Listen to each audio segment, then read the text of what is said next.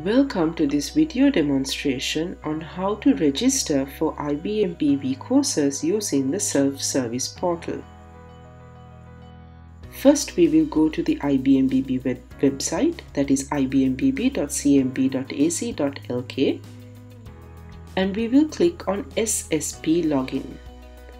This will take you to the self-service portal where you will then click on student. Here you will have the option to register and create an account for the self-service portal. You can fill in your details in the fields as shown on the screen. Make sure that you fill in the correct details and make sure you remember the email address and password and thereafter you can click on register. You will now receive an email to the account that you have provided. This email will have a verification code which you need to use in order to complete the process of creating an account on the service portal.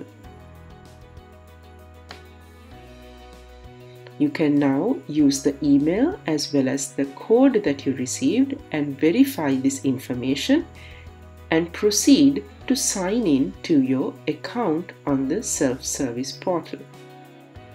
Remember to use the password provided in the registration form.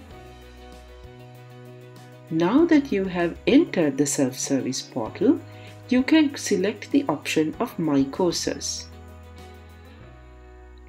You will see this particular screen there and you can then select the option of Apply for Courses where you will see the selection of master's and short-term training courses offered at IBMBB.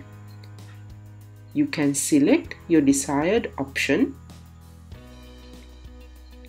and then proceed to the payment of the registration fee. You can click on local applicant and one option available is to pay online where you need to enter the correct email address where you will receive the receipt for the online payment that you have made.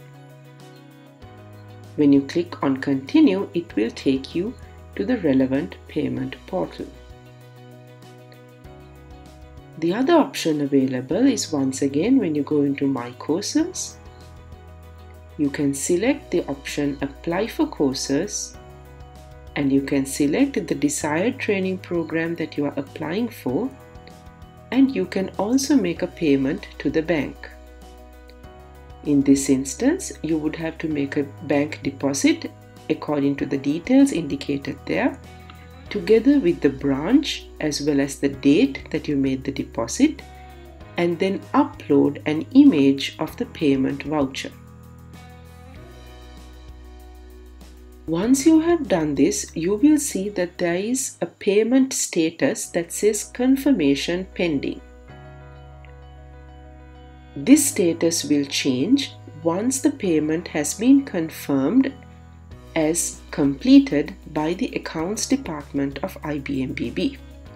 Now you can proceed to the option that says complete where you can fill in the application form with all your personal details. Make sure that you fill in the correct information here because this information will be carried forward for your formal registration as well. Once you have completed this form, you can submit it and then proceed to submit the application.